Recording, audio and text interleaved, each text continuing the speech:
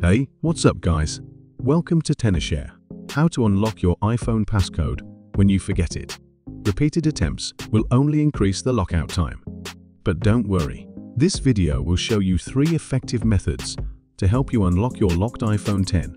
Note, these methods will erase the data on your device. If you don't have a backup, you may lose your data. Let's get started. Method 1. Use the Erase iPhone option on the lock screen. On the lock screen of your iPhone 10, keep entering the wrong passcode. When the wait time reaches 1 hour, an Erase iPhone option will appear at the bottom of the screen. Tap on Erase iPhone. This will guide you through resetting your iPhone and erasing its data and content you'll need to enter your Apple ID password.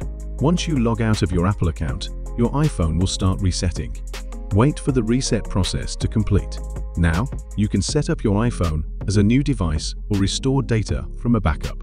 If you don't want to wait for such a long lockout time or cannot use the feature in Method 1, then you should try the second method.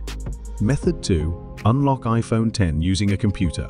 Unlocking your iPhone 10 with a computer is relatively simple. Usually, you can use iTunes to do this.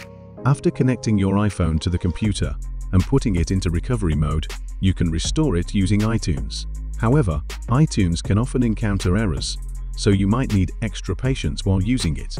That's why I recommend using Tenorshare 4uKey. It's more stable and faster. You can find the download link in the video description. After installing and launching 4uKey on your computer, you'll see the Unlock iOS screen option.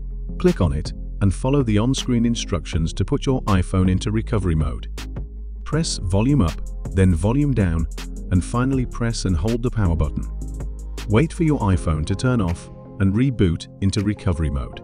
Then click download and wait for the firmware download to complete. Next, click start to remove to reset your iPhone. Once the reset is complete, the screen lock will be removed.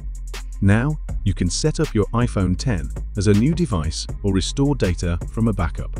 During the setup process, if you encounter iPhone lock to owner, you'll need to enter your Apple ID and password. And that's it, your iPhone is unlocked. Method 3. Use iCloud to erase your iPhone. If Find My iPhone is enabled on your device, you can unlock it remotely. Visit iCloud.com slash find on a computer or another phone and log in with your Apple ID. Then choose your iPhone 10 from the list of devices. Click Erase this device to delete the passcode and reset the device. Once the reset is complete, you can set up your iPhone or restore data from an iCloud backup. That's it.